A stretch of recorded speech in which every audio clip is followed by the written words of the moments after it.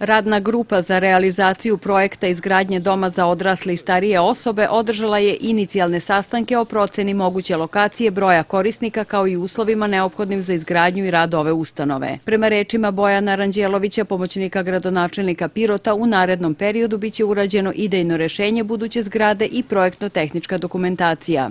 Da vidimo grad koji ima lokacije u našem vlasništu, koje su potencijalne za taj domski smeštaj, a tu ćemo se opredeljivati iz dva uslova za potencijalnu lokaciju. Prvi uslov je da bude ovaj, blizu urbane zone zbog dva razloga. Prvo, prvi razlog je da ti ljudi koji koriste domski smeštaj budu blizu urbane zone i da im budu dostupni sadržaj, lako dostupni sadržaj u gradu, a drugi taj razlog ili uslov je da bude budući objekat blizu komunalne infrastrukture, toplo voda, saobraćajnica, te komunalne infrastrukture i tako dalje, što bi pojeftinilo izgradnju takvog objekta. U ovoj oblasti primenjuju se propisi iz socijalnog stanovanja, zdravstvenog osiguranja i socijalnoj zaštiti, kaže Ranđelović, i dodaje da će za realizaciju ove značajne investicije biti potrebno vreme.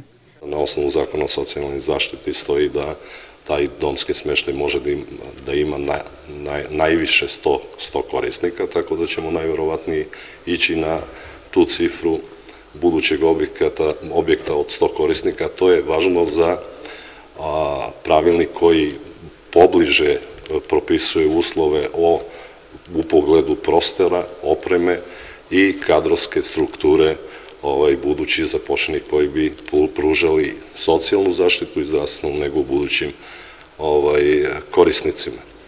Tako da, inicijalno, to su ovaj, problemi sa kojima se bavimo. Ubrzo ja mislim već za jedno dve, tri nedelje ćemo definisati i lokaciju i broj korisnika i onda ćemo krenuti postepenu realizaciju ovaj, tog projekta izgranje staračkog doma. Posle definisanja lokacije i uslova osnivanja pristupit će se planiranju sredstava za izgradnju doma, kaže Ranđelović. Ova ustanova trebalo bi da ima mesta za oko 100 korisnika i bit će u mreži ustanova u kojoj se trenutno nalazi oko 60 domova.